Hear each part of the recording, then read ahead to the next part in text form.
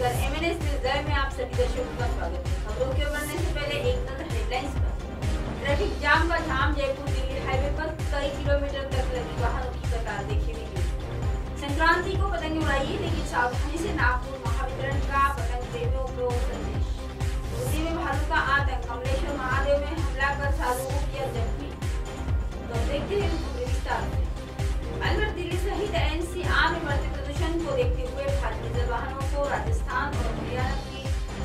पर की प्रक्रिया दूसरे दिन भी जारी आपको बता दें कि दिल्ली जयपुर हाईवे से प्रतिदिन पैंतीस हज़ार से अधिक वाहन गुजरते हैं। दोनों दिशाओं में चौहत्तर हज़ार वाहन गुजरते हैं? हरियाणा पुलिस ने शनिवार दोपहर से आनंद फानंद के भारी वाहनों के हरियाणा और दिल्ली में प्रवेश की कार्यवाही शुरू की थी। रविवार को भी यही सिलसिला जारी है।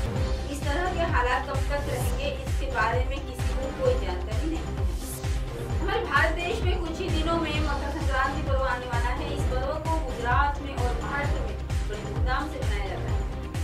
तरफ़ आसमान में रंग बिरंगी पतंग पतंगे और मांझा दिखाई देता है।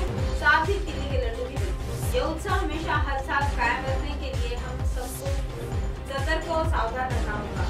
खास तौर पर वे लोग जो कटी पतंग के पीछे भागते हैं, ध्यान रखिए ऐसे समय में इलेक्ट्रिक तारों से दूर रहे, इलेक्ट्रिक खंभों पर न चढ़े।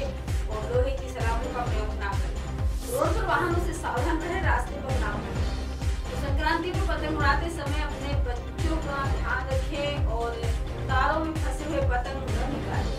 एमएससी विभाग द्वारा अपील की है बूंदी ज़िले में भालू का आतंक से हर कोई डरा हुआ है। अब इंदरगढ़ थाना इलाके के कमलेश्वर महादेव पर्यटन स्थल पर भालू ने साधु पर हमला कर अधमरा कर दिया। भालू ने जगह जगह से साधु को नोच लिया साधु को 108 एंबुलेंस की मदद से इंदरगढ़ अस्पताल अस्पताल पहुँचाया बताया जा रहा है कि इलाके में दो दिनों से भालू ने विभाग इस और कोई ध्यान नहीं दे रहा है।